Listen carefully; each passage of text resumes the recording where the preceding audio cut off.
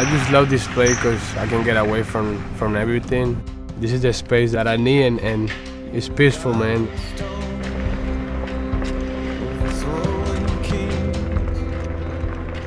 It was my dream to have a farm like this and enjoy my family and this is the perfect spot and, and we always together and we got a lot of fun here.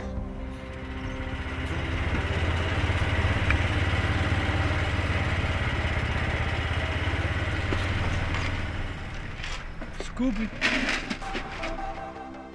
It's just relaxing to feed them. When we when we go feed them, I, I love feeding animals and I love animals. Doing this trip around this this farm is is really fun.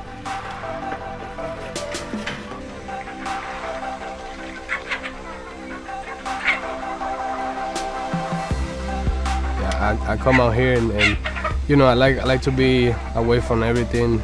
You know, enjoy my family and, and that's that's that's what I love about this place.